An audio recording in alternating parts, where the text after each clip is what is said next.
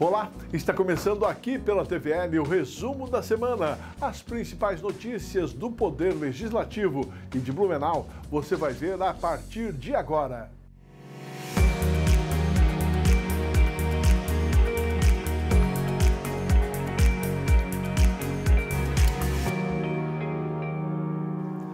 Começaram nesta semana as rematrículas para crianças e adolescentes nas atividades gratuitas oferecidas pela Profamília. As inscrições para quem frequenta as aulas no prédio do programa Criança e Adolescente vão até o dia 8 de dezembro. Para alunos novos, as matrículas eh, de vagas remanescentes serão abertas no ano que vem. Para se inscrever, basta escolher a atividade que quer frequentar e confirmar ou atualizar os dados do cadastro. Cada aluno pode se inscrever em quantas oficinas desejar, entre 11 modalidades que a Secretaria dispõe para criança e adolescentes entre 6 e 16 anos, desde que não coincidam os horários. E os vereadores mirins na sessão ordinária desta segunda-feira estiveram reunidos. Os pequenos parlamentares foram acompanhados no plenário por estudantes da escola Anita Garibaldi. Vamos aos destaques. Na sessão ordinária desta segunda-feira, os pequenos parlamentares foram acompanhados no plenário por estudantes da Escola Básica Municipal Anita Garibaldi. Na tribuna, os vereadores trouxeram diversos assuntos de interesse da comunidade. Samuel Meira trouxe o assunto Halloween ele expôs sua opinião e seu ponto de vista sobre o tema. O Halloween ele pode já ter passado há um bom tempo e eu vim trazer porque eu achei muito interessante. Eu peguei até como base o pronunciamento da vereadora Silmara, é, falando sobre como o Halloween é prejudicial para as crianças e adolescentes, porque vai gerar traumas psicológicos e para nós que somos de Blumenau é pior porque a gente acabou de sair de um ataque à creche, então, como eu falei no meu pronunciamento, imagina os pais das crianças que infelizmente faleceram, vendo pessoas com machados na cabeça, por exemplo. Então, realmente é muito ruim. E também, se a gente for pegar a origem do Halloween, a gente vai ver que é uma festa que comemora a morte. E o Brasil, hoje em dia, ele 70, 80% dele é, é cristão, que inclui católicos e evangélicos. E, bom, eu pelo menos sirvo um Deus da vida e não um Deus da morte. E foi basicamente isso. A vereadora Vitória Bauer falou sobre a sua experiência na escola militar em que estuda. Em meu pronunciamento, eu trouxe esse assunto para demonstrar a importância dos colégios policiais militares em nosso país e o porquê de que deveriam existir mais colégios como esse, já que são exemplos de educação, disciplina e proporcionam um futuro brilhante para os alunos. Está sendo importante para você? Está sendo muito importante, estou aprendendo muitas coisas nesses três anos que estou estudando lá. E eu creio que quando eu sair do colégio, eu vou me recordar de uma forma muito positiva do colégio, já que foi um lugar que me ensinou muitas coisas.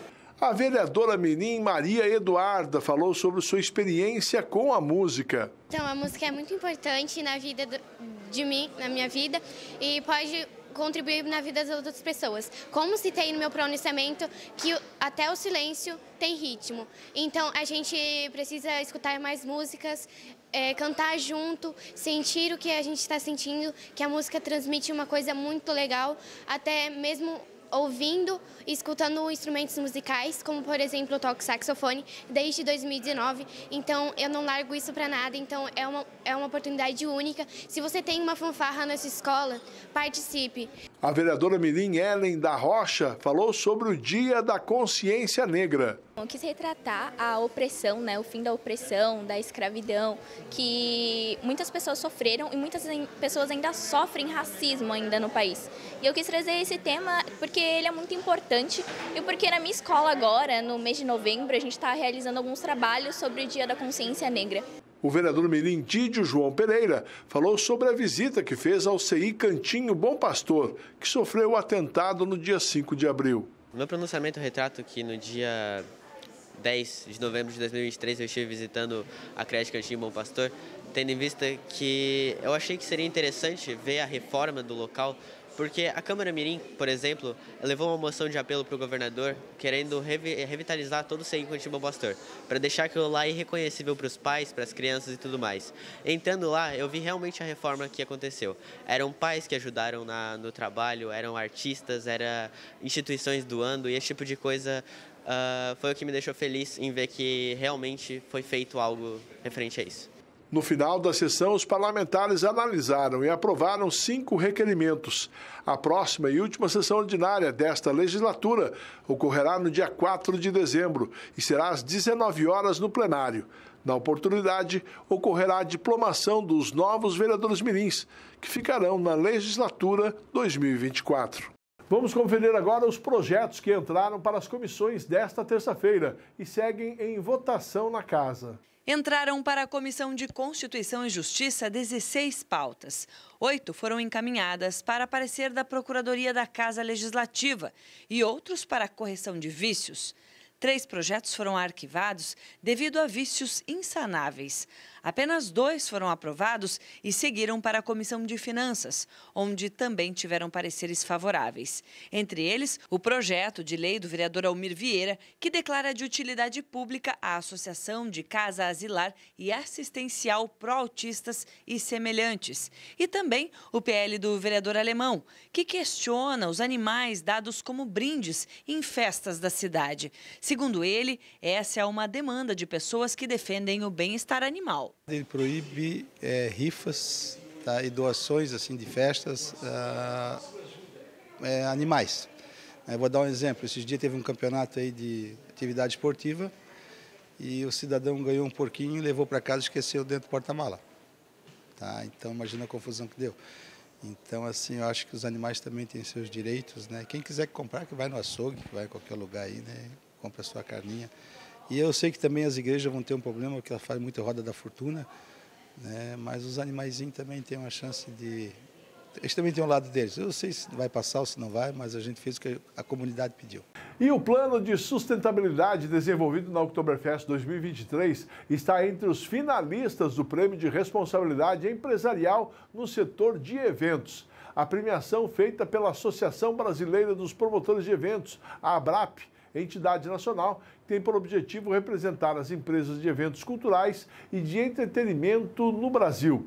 Esta é a primeira edição do prêmio que reconhece e valoriza iniciativas práticas em eventos em todo o país, nas categorias de meio ambiente, social e governança. E a falta de água em Blumenau e a inclusão de alunos com alta sensibilidade auditiva foram alguns dos temas discutidos na sessão ordinária desta terça-feira. Nesta terça-feira, os parlamentares votaram um projeto em primeira discussão e votação exclusiva. O projeto de autoria do Poder Executivo, que estima a receita e fixa fundos municipais para o exercício financeiro de 2024. A sessão foi presidida pelo vice-presidente Maurício Gol, enquanto o presidente Almir Vieira está em viagem a Brasília para levar demandas de Blumenau aos deputados federais. Também foi dado espaço ao líder comunitário Ronaldo Regis, representando a comunidade da Associação de Moradores da Rua Guilherme Perner e Transversais, para usar a tribuna. Ele veio destacar os problemas na estrutura da escola Oscar Umberral, que tem sofrido com as chuvas na cidade. Na tribuna, problemas que têm preocupado os blumenauenses foram pauta nos pronunciamentos. Entre eles, um recurso essencial. Água. Né? Porque é, Blumenau está faltando água todo dia. Não vamos falar agora porque por causa da enchentes, que pô, nós estamos na sexta enchente né, na região aí. Essa enchente vai durar ainda muito tempo. A água não vai limpar tão cedo, essa chuva vai ficar até janeiro. Tá? Depois vem as chuvas de verão. Então, assim, ó, mas o que hoje está errado aqui é que Blumenau cresceu muito e a nossa captação de água, nós não temos mais 250 mil habitantes. Hoje, tecnicamente, nós não temos condição de produzir água para os habitantes que tem nessa cidade. Tá? E com a liberação de tantos prédios, é mais consumo de água. Cada prédio que é feito é botado mais o dobro de cisterna. Então, assim, ó, tem que pensar para frente. E você tem que fazer descentralizar a água. O Garcia hoje tem uma unidade que era para alimentar metade da cidade, só alimenta o Garcia. Nós temos que ter uma Ana Velha, nós temos o Rio Encano. Pô, o Rio Encano é água limpa. Né? Agora estamos falando em comprar o SESI novamente, né? que, mas o SESI, quando eu falei há dois anos atrás que o SESI podia ser um bom local para aproveitar aquela água para mandar para o centro e para o Vosta, já seria uma economia. Porque você pegar uma água do rio Itajaí, que vem coliforme fecal desde Rio do Sul para baixo, e eu pegar uma água do SESI, do Rio Encano, é bem diferente para tratar. Tá? Então, assim, nós temos que pensar para frente. Tá? E Blumenau está beirando os 400 mil habitantes. Isso aqui, como é a terra do futuro, todo mundo está achando que aqui tem né, é uma das melhores cidades do país para se viver, mas está vindo todo mundo para cá e todo mundo precisa de água, todo mundo precisa de esgoto.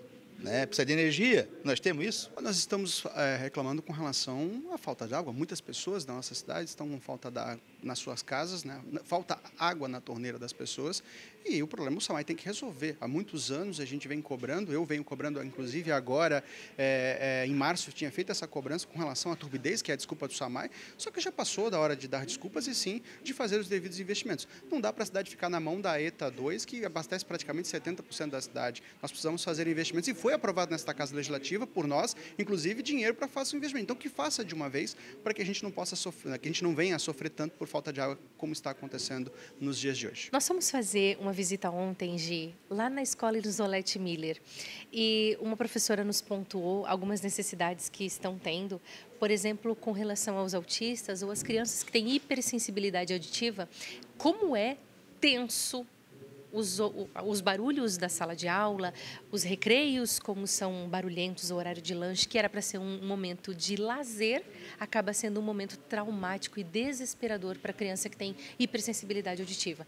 E nós, é, quando fomos a Brasília, nós já levamos essa pauta para lá, para a questão de recurso, para conseguir é, viabilizar a possibilidade das escolas sendo municipais e estaduais, para terem esse abafador de ruído para os alunos. Até, inclusive, estava conversando com o vereador Gilson, que também é um grande entusiasta dessa mesma pauta, para que a gente possa fazer todos em conjunto uma ação para que a gente possa realmente viabilizar para a educação de Blumenau, estadual e municipal, a possibilidade de ter esses abafadores, porque isso sim é ser inclusivo. A gente poder, não agora por causa da hipersensibilidade, a criança que tem esse problema ir para um ambiente isolado para fazer um lanche. Não, mas para que ela possa estar incluída com todos os alunos, ela ter o abafador de ruídos e isso sim vai ser inclusão de verdade. Agora vamos ao breve intervalo, o resumo da semana, volta em instantes. Fique conosco.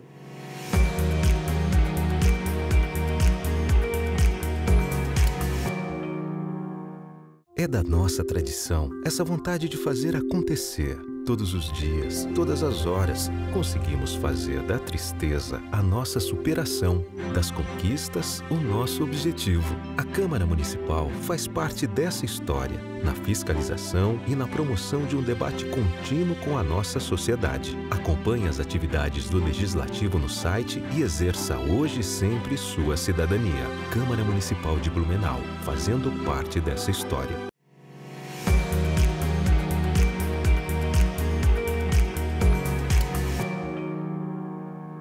Nós estamos de volta aqui no resumo da semana. Obrigado pelo carinho da sua audiência. Acompanhe aqui pela sua TV Legislativa, todas as terças e quintas-feiras, ao vivo, a transmissão da sessão ordinária da Câmara de Vereadores.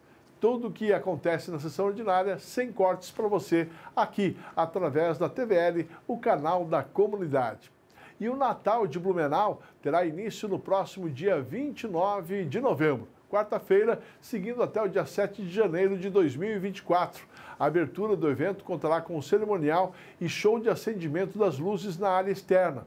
A partir das 19 horas, desfile oficial a partir das 20 horas e, na sequência, no setor 1, ocorrerá a apresentação da Orquestra de Câmara de Blumenau com o famoso instrumentista e gaiteiro Renato Borghetti. E a Câmara recebeu esta semana membros do Rotary de Blumenau que comemoram o centenário da instituição no Brasil e 80 anos aqui na cidade. Veja como foi. A data foi comemorada com uma sessão solene em homenagem aos 100 anos do Rotary no Brasil e 80 anos em Blumenau. A solenidade foi conduzida pelo presidente da Câmara, Almir Vieira, que também propôs a moção e é membro do Rotary Clube Fortaleza. O governador do Rotary Distrito 4652 ressaltou o papel dessa organização na sociedade. Esses 100 anos é um momento muito especial para todos os rotarianos, todos os Rotaries do Brasil, porque representam efetivamente né, um, uma década, um centenário de trabalho árduo dos clubes de Rotary em todo o Brasil. São mais de 3 mil clubes distribuídos em todo o Brasil. O primeiro clube de língua portuguesa do mundo também é o Rotary do Rio de Janeiro.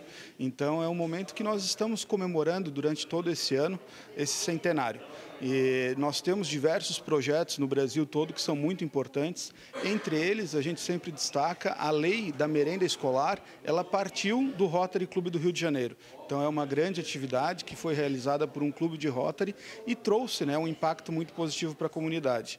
E aqui em Blumenau, nós estamos comemorando neste ano 80 anos de Rotary. Então também é um momento muito especial para toda a comunidade rotária de Blumenau e de Santa Catarina. Foi minha, meu requerimento, minha solicitação, até porque o trabalho que eles fazem é um trabalho digno, todos os elogios, né, a preocupação que eles têm com o cidadão, as campanhas que eles fazem, campanha de vacinação, campanha para as crianças, as ajudas que eles dão para os institutos.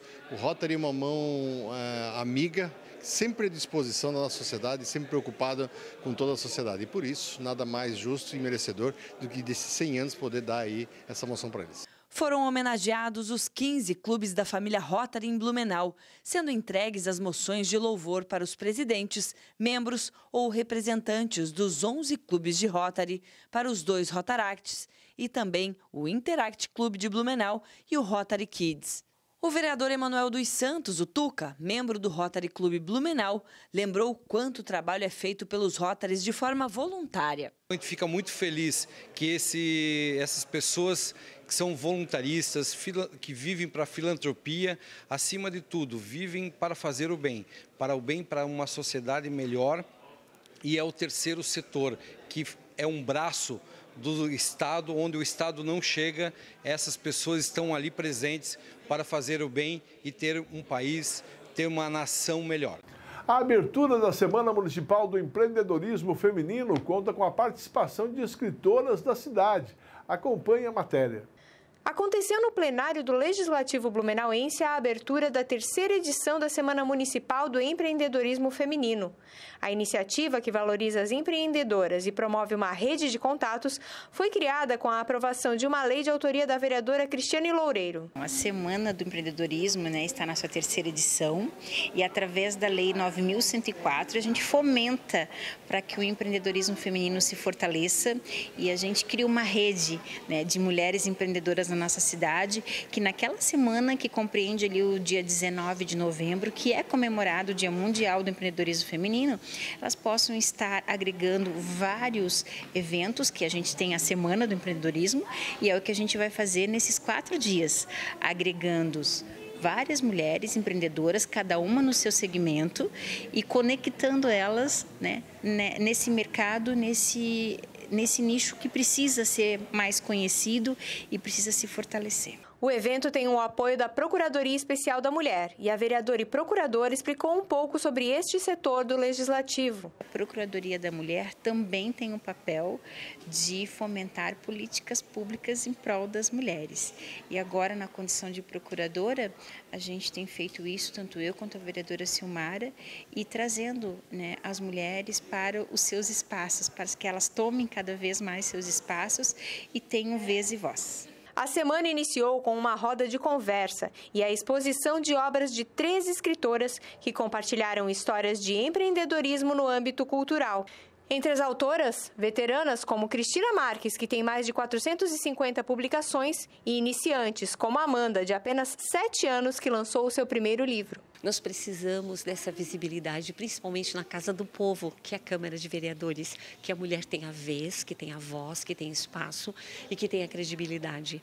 E que essas mulheres que estão nos assistindo e seus parceiros também possam se inspirar em saber que nós temos mulheres talentosas, dedicadas, empreendedoras, resilientes, sábias e muito, muito preparadas para inspirar, para criar muitas gerações leitoras e poder colocar mente e coração para criar lindas palavras, memórias afetivas que servirão como legado, o legado escrito. Quando os meus pais eram clientes da leiturinha, eu, a gente ganhou o livro. Daí eu me inspirei nisso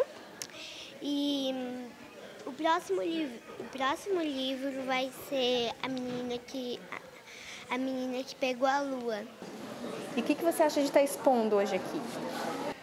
Muito bom. O evento segue até o dia 23 de novembro, quando encerra na Rivage com o Dona Negócios, que vai promover palestras, exposição de produtos, serviços e desfile de moda. Empresa do ramo de TI recebe reconhecimento da Câmara de Vereadores. A empresa Premier Soft, localizada no bairro Worcester, possui 170 funcionários e mais de 50 clientes no Brasil e nos Estados Unidos.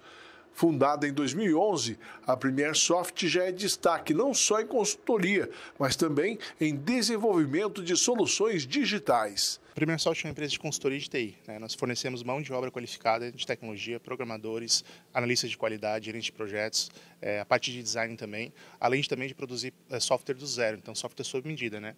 Uma empresa precisa de uma necessidade para atender o seu negócio, não existe um software pronto para isso, a gente consegue desenvolver isso de acordo com a necessidade de cada um dos clientes. Através de uma indicação do vereador Bruno Cunha, a Premier Soft recebeu da Câmara de Vereadores uma moção de reconhecimento do trabalho de excelência desenvolvido, fortalecendo o setor de tecnologia da cidade. Primeiro que eu conheço a história aqui e sei do comprometimento deles, primeiro com o desenvolvimento econômico da cidade, com a geração de emprego, com toda a parte tecnológica, mas também com todas as causas sociais.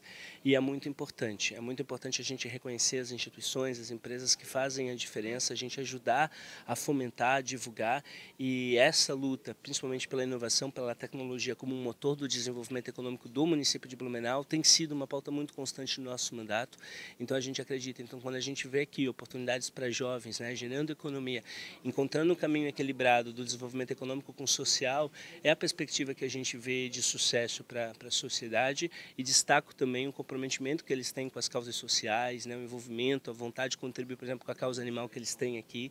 Então, são vários fatores que fazem com que a gente possa fazer essa entrega com muito carinho. É um privilégio, um reconhecimento. Já são 12 para 13 anos de muito trabalho, né, que a gente começou lá em 2011. Então, ter isso sendo concretizado nesse reconhecimento é muito bom, mostra que a gente está no caminho certo, conseguindo entregar excelência né, para os nossos clientes com o trabalho desenvolvido e também é, trazendo esse senso de pertencimento para os nossos colaboradores, né, que é um negócio que a gente entende que cuidar bem dos colaboradores acaba refletindo uma qualidade de trabalho. Então, estou muito feliz e lisonjeado pelo reconhecimento. Durante a visita à empresa Premier Soft, o vereador Bruno Cunha falou da importância do reconhecimento do trabalho desenvolvido pelas pessoas e empresas que fazem realmente a diferença no desenvolvimento da cidade de Blumenau. Todos nós, seres humanos, nós funcionamos com motivação.